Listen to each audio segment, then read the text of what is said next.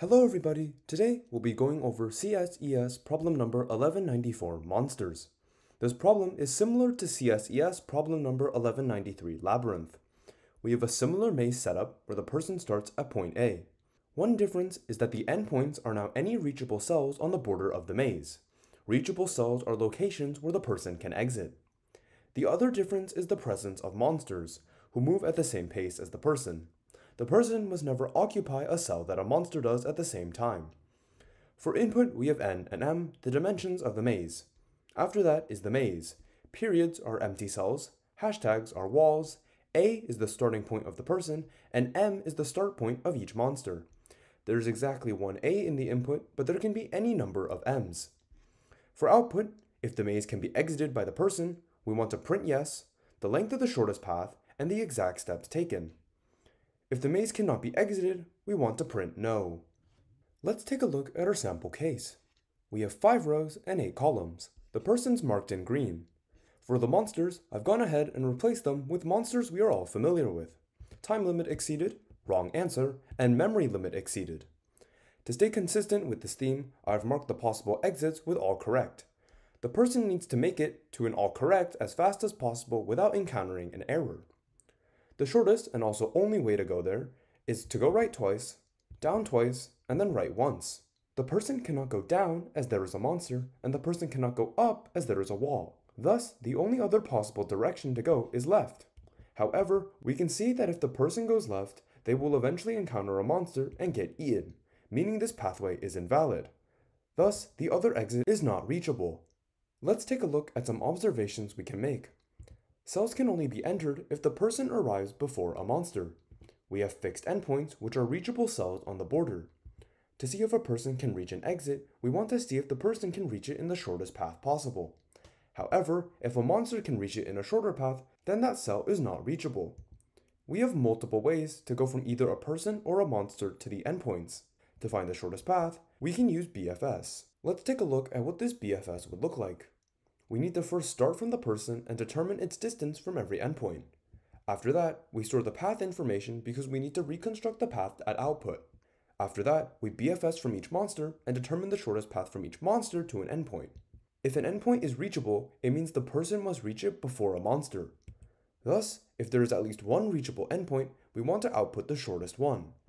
If there are no reachable endpoints, we indicate so by printing no. Let's start with a naive way to BFS. We can individually BFS from every monster, computing the distance from a monster to any cell. Let's look at how our TLE monster moves. First, a cell with a monster has a distance of 0. It then spreads out in the cardinal directions, visiting the next unvisited closest cell every time. We now have every empty cell's distance to a single monster. Next, let's look at our wrong answer monster. First, let's look at a naive way to BFS. We can individually BFS from every monster, computing the distance from every monster to every cell.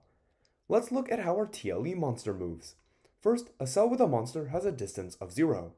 It then spreads out in the cardinal directions, visiting the next unvisited closest cell every time. We now have every empty cell's distance to a singular monster. Next, let's look at our wrong answer monster. Next, let's look at our wrong answer monster. It marks its current cell with a distance of 0 and then the closest points with distances of 1 as to get to the wrong answer monster, these cells need to take a path that is shorter than that to the TLE monster. It continues to convert points that are closer to it than TLE, spreading out through the maze. We can see that certain cells have been revisited, an inefficiency we will address later. Finally, our MLE monster overrides its current cell and then the one under it. The issue with our naive BFS is that cells are revisited. Complexity is worsened as there is a worst case possibility that each monster visits every cell. Thus, we need a more optimized approach. To do this, we can use multi-source BFS. We start by pushing every single monster into the queue. This means that they're all processed at the same time, so no cells are revisited. This means no cells are revisited, as since every monster is in the queue at once, a cell's first visit is guaranteed to be its shortest. Let's look at how our monsters move with this change. They first mark all their own cells with 0 and then spread out nearby. After that, they continue to spread, making sure every cell is marked only once. Using multi-source BFS, we have many starting points. every monster cell has an original distance of 0, and the BFS spreads out and only visits each cell once, since BFS will process the closest cells first. The runtime is now O of n times m, as at worst case, the BFS will need to process every single cell in the maze. Finally, let's look at the person's BFS as it is the same for both approaches. It simply spreads out to the nearest unvisited cell every time. We now have a distance from every cell to a person and a monster. We can see the bottom cell is closer to a monster than a person, so we'll mark it as unreachable. However, the right exit is closer to a person than a monster, so we can exit there. Since we stored the path info during the BFS, we can reconstruct our path backwards from the exit to the start. Let's finally look at the implementation for this code. We read in the dimensions of the grid and the grid. We push every monster into the queue and then start our first BFS. We determine each cell's minimum distance from a monster. After that, we push the person's position into the queue. We conduct another BFS determining each cell's minimum distance from the person. We also record the directions taken to arrive at cells for the path reconstruction. We then check every valid border cell. If a person cannot reach any of the cells before a monster, then we output no. Otherwise, we need to begin path reconstruction from the closest reachable one. This approach has a time complexity of O of n times m, as in the worst case, every cell in the maze will be visited once. This approach has a memory complexity of O of n times m, as we need to store the maze. That's all for the general explanation. I will now go over C++, Java, and Python solutions. First, we'll take a look at the C++ implementation for this problem. First, we'll define some global variables. We have the dimensions of the maze, the maze itself, each cell's distance from a monster and the person, vectors to control the direction of traversal, a direction matrix that we'll use to store the directions each cell was arrived at for path reconstruction, and variables to store the distance of the closest exit and then its position. After that, we'll define a function for our BFS, and then our check valid function, which we'll be using to process the border cells. Before we get to their implementation, let's look at our main. We'll read an n and m, and then we'll resize our maze to store the n rows. We'll resize the monster distance and the person distance to the same dimensions, and then we'll resize direction to the same as well. Monster and person are set to int max to make sure the first time they're reached the path is shorter, and direction is marked with negative 1 just to indicate it hasn't been set yet. We initialize our queue for BFS, and then we set variables for the person's position. After that, we loop through the n rows and we read in each row of the maze. We process each row, checking for the person. If we find the person, then we set that cell's distance to the person as 0, and then we save its position. If it's a monster, we mark the distance to a monster at that cell as 0, and then we push that position into the queue. After that, we get started on the BFS for monsters. Now let's look at our BFS implementation.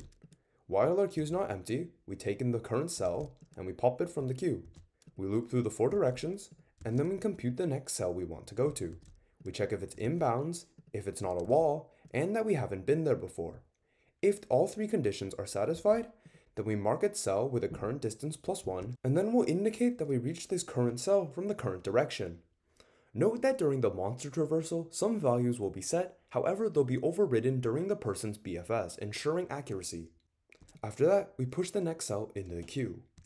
Moving on, we can do the BFS for the person, pushing in the person's position into the queue, and here the direction arrived at each cell from the person will be set correctly.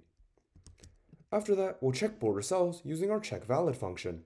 If the cell's not a wall, and the person can reach it before a monster, and the current cell is closer to the person than a past result, then we save the distance and then we update the position. Moving on, we need to check if the top and bottom rows at every column are both valid.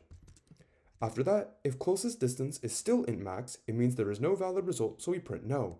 However, if there is, we need to print yes and the closest distance.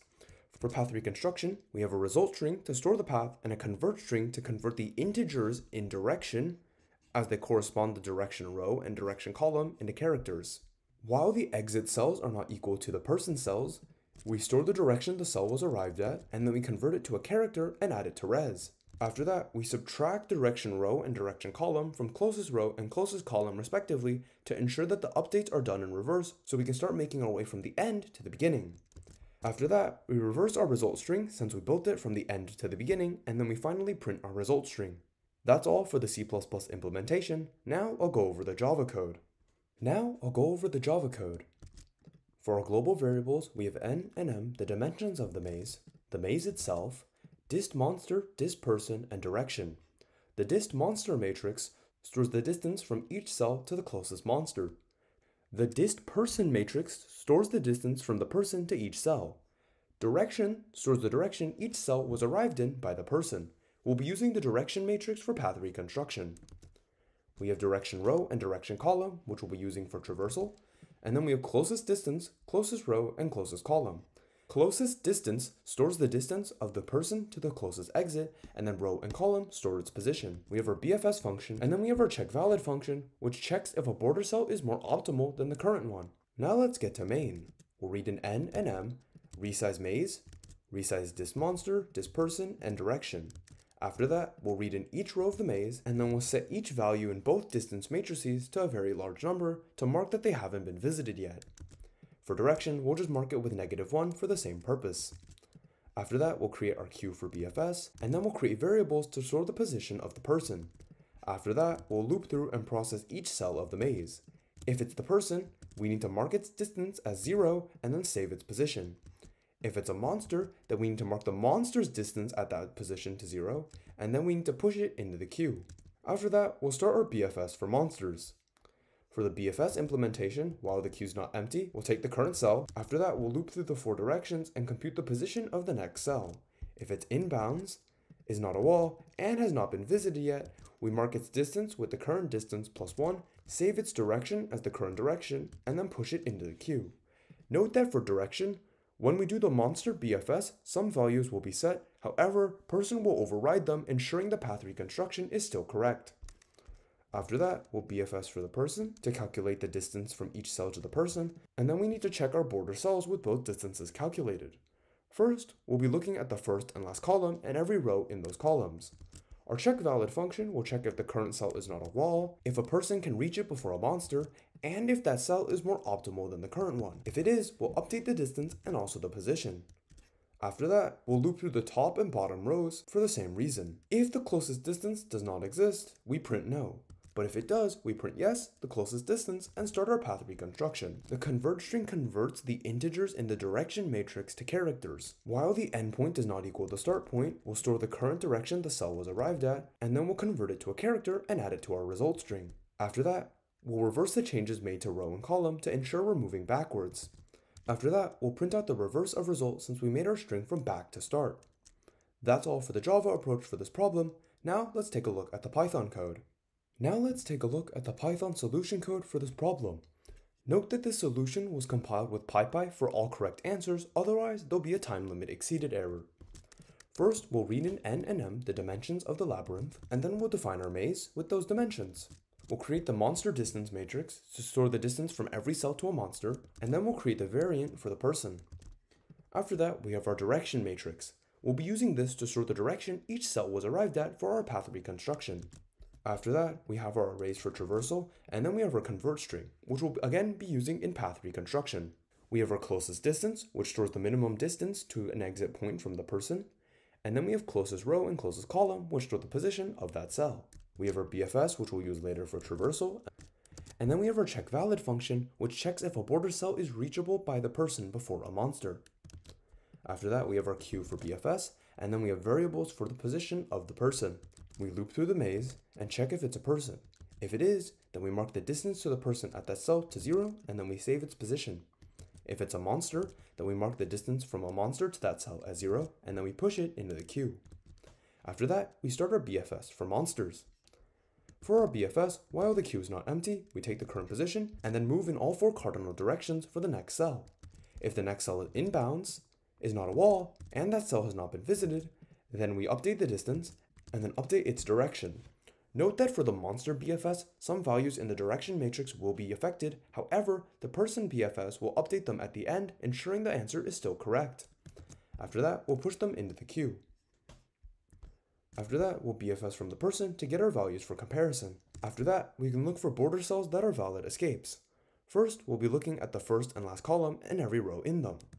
Our check valid function checks if the current cell is not a wall, if the person reaches it before a monster does, and if it is more optimal than a prior found path. If so, we update the closest distance and its position. After that, we do the same thing, checking the first and last row in every column inside them. If a path to an exit does not exist, we print no.